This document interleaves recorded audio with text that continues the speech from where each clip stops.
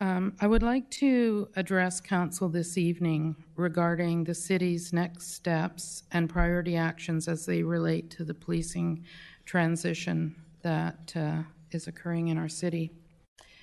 I want to be very clear that I continue to believe that this NDP imposed transition is not in the best interest of the residents or the taxpayers of the City of Surrey. The provincial report recognized that, uh, that the RCMP have provided safe and effective policing for the City of Surrey, and the Solicitor General has stated that the city has safe and effective policing with the RCMP. He is taking this action, as he said, in the interest of the province.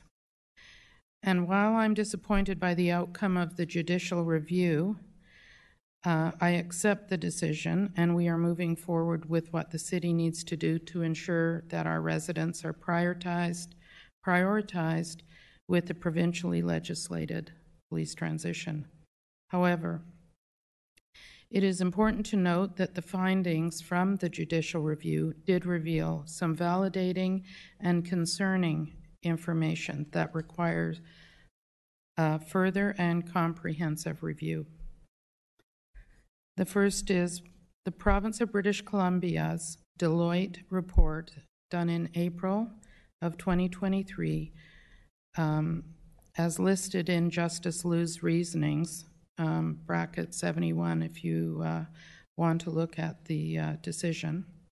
On December 15th, 2022, the city delivered to the minister, this is a direct quote from, um, from Justice.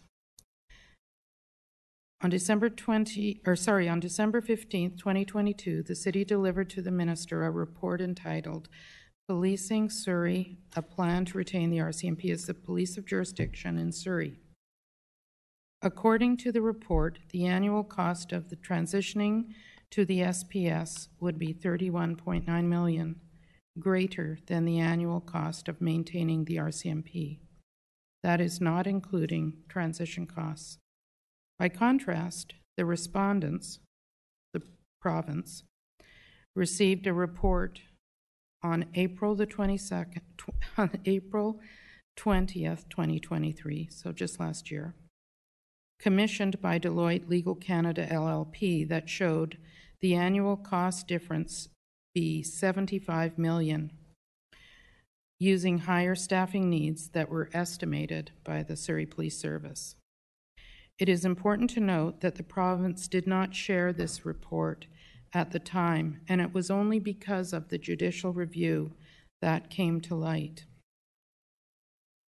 Justice then goes on to say in, bra- in um, section bracket 72 regardless of the f- exact figures, it is clear that it will be more expensive for the city to transition to the SPS compared to maintaining the RCMP, both by way of the transition costs and the incremental annual costs.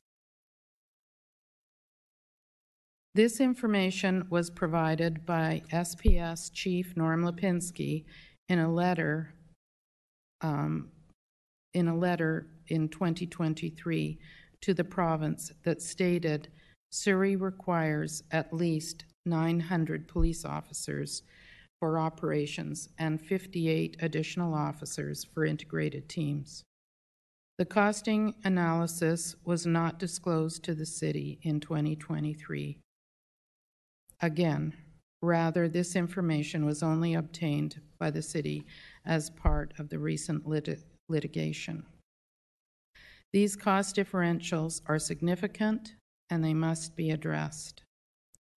Irrespective of the province's legislation about policing in Surrey and their imposed target date for the SPS to take command of policing in the city by November 29, 2024, there still remains no confirmed plan to get there and no confirmed costing that the city can reasonably rely on for budgeting and fiscal management purposes.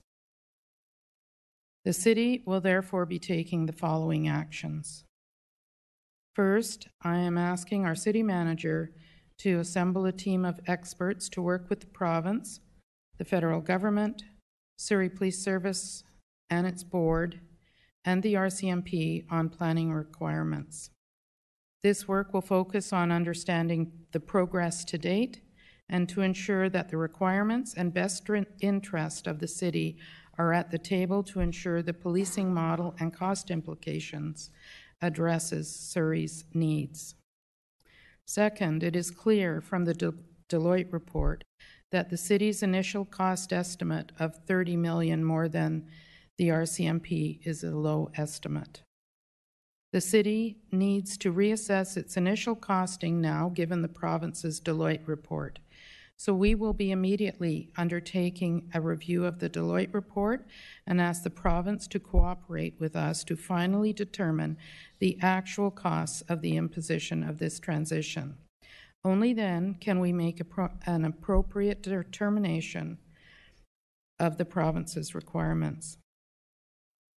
And while I understand the opposition councillors do not believe that the province should contribute to the exorbitant and generational costs for our residents, our council majority believes the province must take the responsibility for the Solicitor General's decision. Surrey taxpayers and future infrastructure must be protected from the minister's decision. Moving forward, it is critical that the process be transparent and accountable to the public and to the city. During the entire six-year process, the previous mayor, the Surrey Police Board, and the province has withheld information by way of private meetings, non-disclosure agreements, and without prejudice negotiations. These backroom arrangements must and will stop today. I am instructing city staff to arrange in to arrange in public the police transition update to occur prior to every regular scheduled public hearing commencing in September of this year. These public updates will include a public corporate report as well as time for council to ask questions about the process. And finally, I understand that residents are fatigued by all the political positioning that has ensued about this transition. I am fat- I'm fatigued too. And as you all know from the documents submitted as part of the judicial review, the Premier indicated he didn't care which model we went with. He just wanted the matter resolved. The province cannot simply make a decision about policing at the 10,000 feet level and then wash their hands of it. Their actions and their decisions have gotten us here today. No plans, no confirmed costs. So I want to be very clear. We are at the very infancy stages of this transition in terms of planning and confirming proper costing for taxpayers. These immediate actions will go a long way to finally get clarity on the trans on what this transition means for the future of policing in Surrey. Um, I'm just going to add that this could have uh, been all avoided had it done a proper process from the very beginning. And the previous administration of this, the previous council, um, just terribly, terribly dropped the ball for the residents of our city. So time is of the essence as we head into the upcoming provincial election. Our council will work over the summer to ensure this process is expedited, and if I have to call meetings, I will. And I expect that the province, the Surrey Police Service, and their executive and the Surrey Police Board will do likewise.